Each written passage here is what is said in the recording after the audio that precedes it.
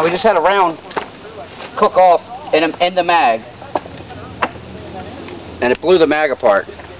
You look at that. It's it's it's done. That mag's not, it's shot. Look, it cooked off in the mag. So we had a round cook off in the mag. Here is the mag spring and follower. And it literally cooked off. This mag is, is shot. It's trash. That's what I pay, get for paying. That's what you get for paying six bucks. But uh, We gotta find the base. no, the base is gone. Base is. But what you got to do when you have something like that, clear it. Nothing in the chamber here.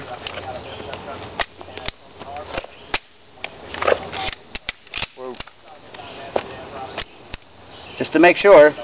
Pull the bolt out. Slide it back.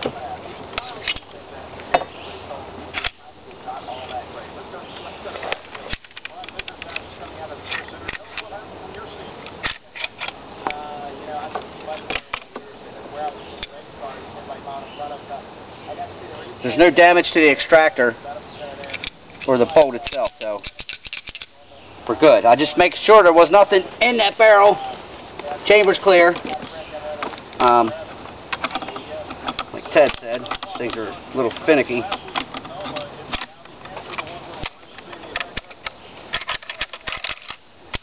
And you slide your cover back on.